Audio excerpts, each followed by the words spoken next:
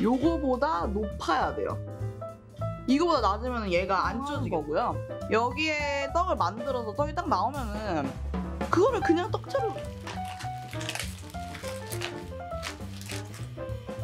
이렇게 옷을 이렇게 잡아가지고 꽃가위로 여기다 이렇게 얹어주는 거예요. 이 꽃가위는 이렇게 분리도 돼요.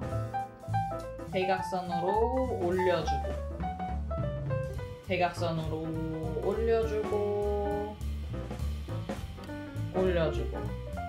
천천히 해야지 얘를 빠르게 하면 안 돼요. 빼주고.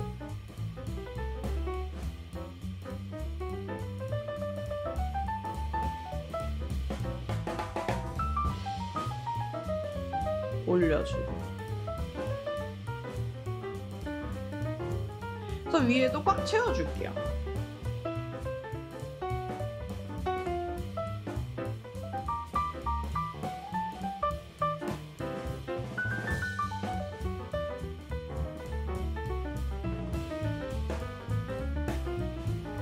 바깥쪽에 두 개 올렸죠. 어떤 꽃을 하는지는 마음이에요. 뭐 다 장미로만 하셔도 상관없고요. 안쪽에 하나 넣었죠. 그래서 두 개 하나, 두 개 하나 사이에 하나 넣고. 그러니까 또 여기에 들어갈 거는 하나겠죠? 어. 애플 블러썸도 좀 올려줄게요. 구멍이 큰 데다가.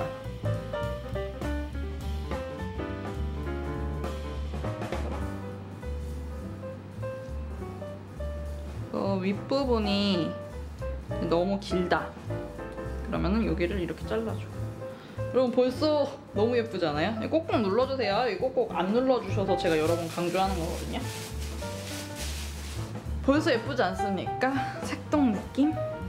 근데 이제 손가락 한 마디 정도 이렇게 두시고 칸을 두시고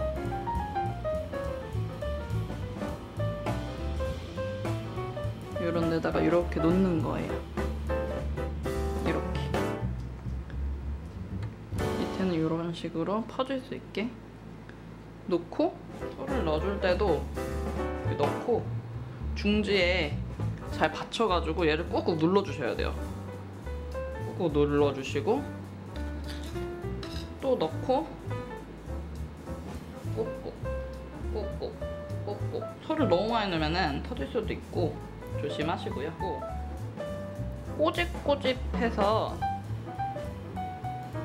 약간 막 삼각형 느낌?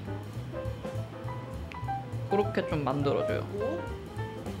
참기름을 발라줄 거예요. 붓이 없으신 분들은 손에 장갑 껴가지고 바르시면 돼요. 자, 두번 치고 설탕은 넣지 말아주세요.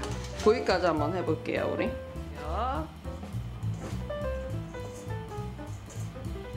말차, 녹차랑 팥이랑 좀 잘 어울려서 베이킹에서도 잘 쓰는 조합이거든요.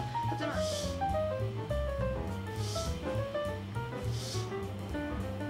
이렇게 조금 요런 데 올려주는 게 예뻐요. 베리 같은 애들.